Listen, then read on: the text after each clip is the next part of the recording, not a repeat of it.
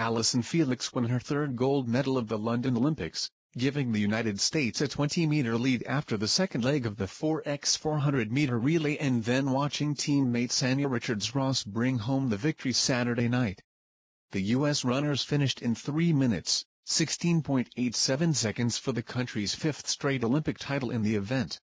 Russia finished second in 3, 20.23 and Jamaica was third in 3, 20.95.